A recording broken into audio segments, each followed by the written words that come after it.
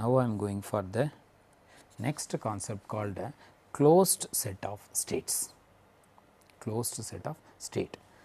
If C is a set of states such that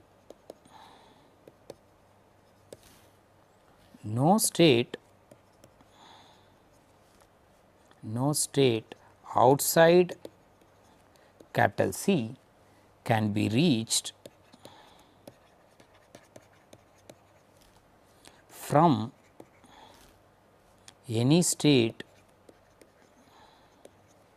in capital C, then we say then this the collection or the set C is said to be closed.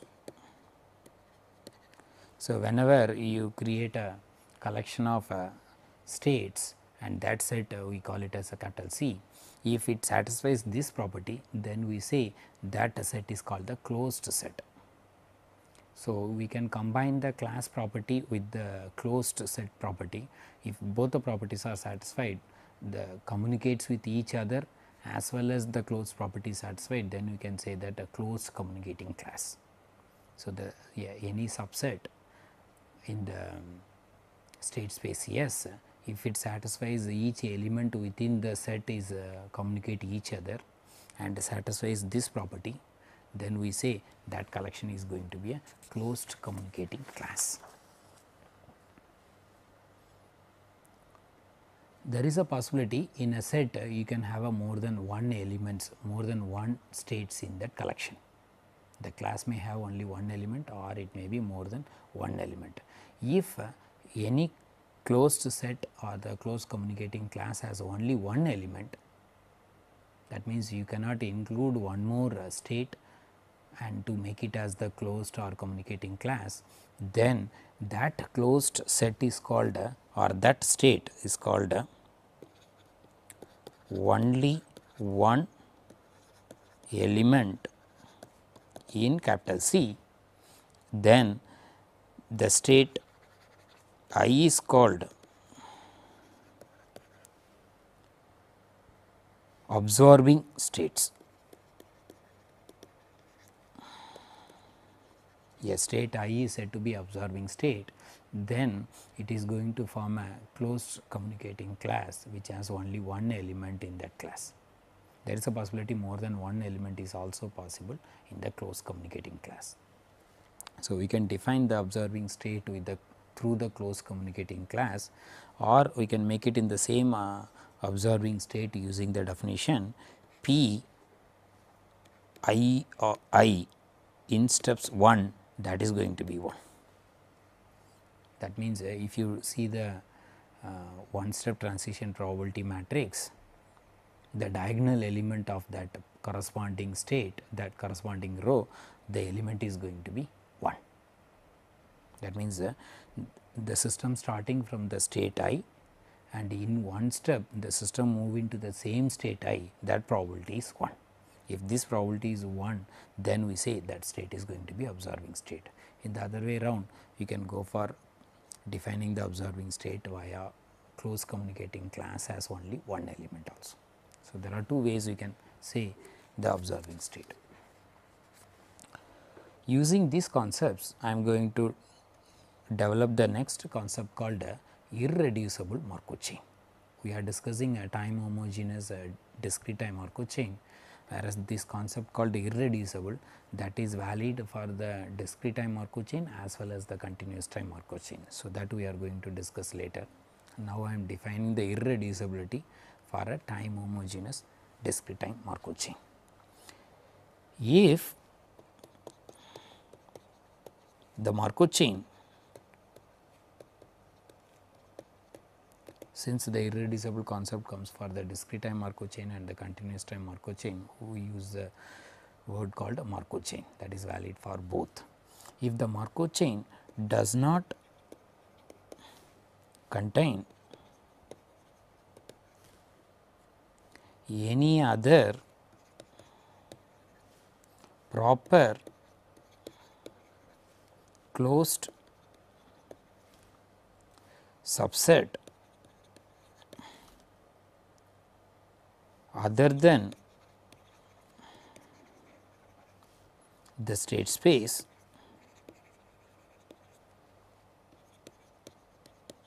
capital S, then the Markov chain in short we can use the word MC for Markov chain, then the Markov chain is called irreducible Markov chain.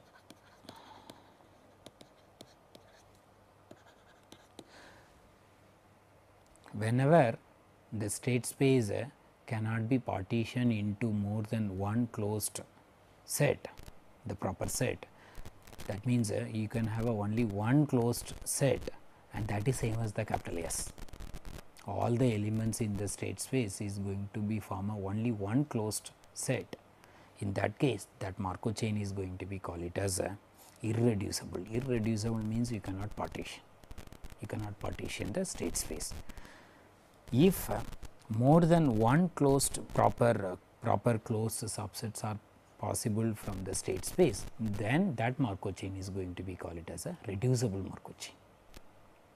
If more than one or we can able to make the partition of the state space into more than one uh, closed set as well as a few transient states and so on that I am going to discuss later. So, whenever you, are not able if you are able to partition the close partition the state space then that is going to be a reducible Markov chain. If you are not able to partition the state space and the whole state space is going to be a only one closed proper closed subset, then that is that Markov chain is going to be called it as a irreducible Markov chain. In this case all the states belonging to the that class is going to be from a one class and since it is going to have a only one class all the states going to have if one state has the period something then the all the other states also going to have the same period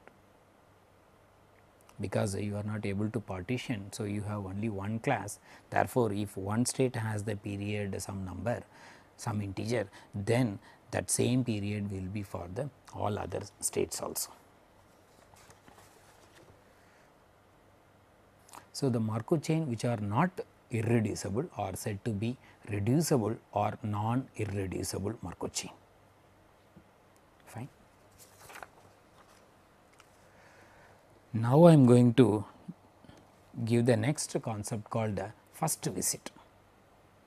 We did not come to the classification of a state, before that we are developing a few concepts using these concepts we are going to we are going to classify the states. The next concept is called the first visit. What is the meaning of first visit? I am going to define the probability mass function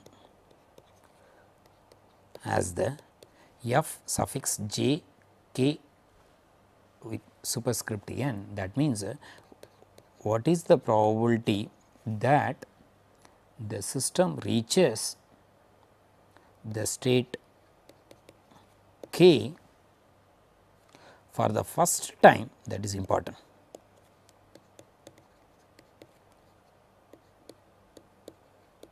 For the first time at the nth step, nth time step?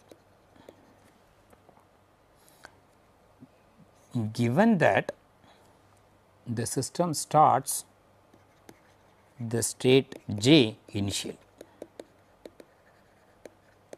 This is a conditional probability mass function of a system moving from the state j to k and system reaching the state k at the nth time step for the first time that is important. So, this is the first time the system reaches the state k at the nth step exactly at the nth step and this conditional probability mass function that I am going to write it as the f suffix j k of n. This is different from the p j k of n.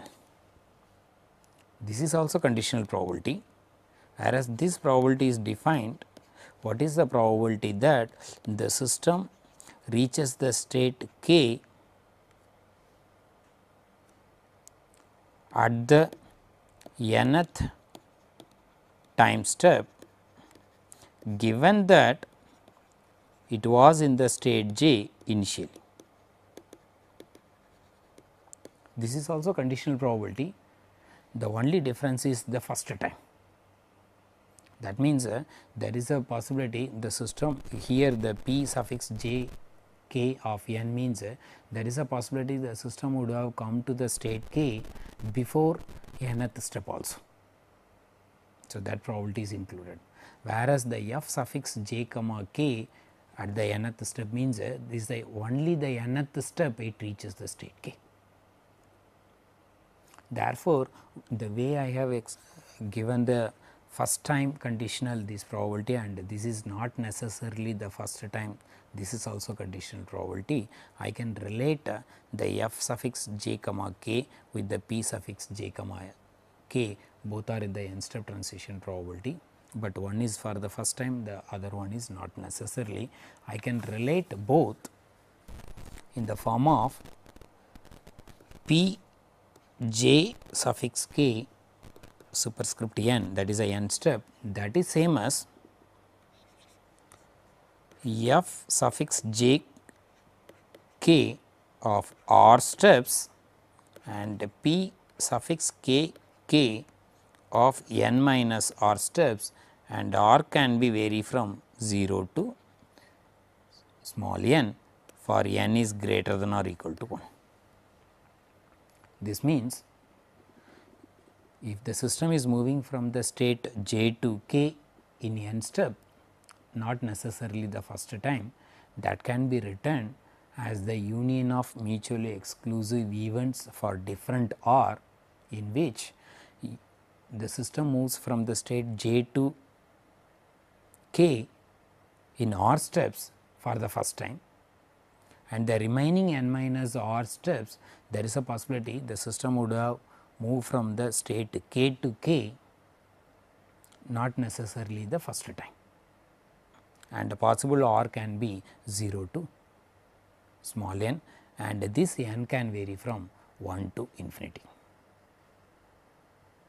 Obviously, we can make out the I can give the p k k of a 0 step that is going to be 1 and similarly you can make out a f suffix j of k that is 0 steps also 0 and f j k of 1 step that is nothing but the p j k. The first time the system is moving from the state j to k in one step that is same as the one step transition probability the first time and one, one step transition probability is same whereas for n is greater than or equal to 1 then it is going to be the combination of the first time with the not necessarily the first time um, n minus r step transition probability that all possible e events that will give the altogether final probability. So, here we have used the total probability rule as well as the Chapman-Kolmogorov equation for the time homogeneous discrete time Markov chain to land up giving the relation between the p j k with the f j k.